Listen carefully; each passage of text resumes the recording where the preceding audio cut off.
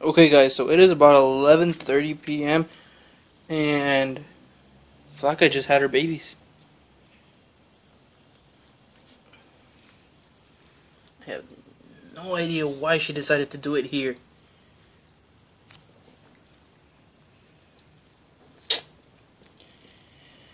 My mom's coming see what we can do. Because that is not a place for the puppy. Okay guys, so yesterday we we came back here and um Flocka had you know her babies, right?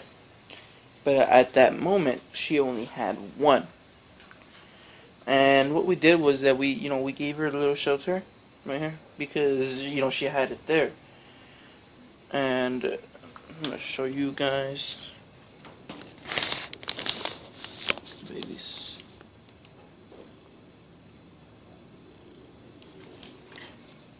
Anyways, that's what she had. Um, apparently, and last night when I first came out here, she only had uh, one. But apparently now she has six, according to my dad.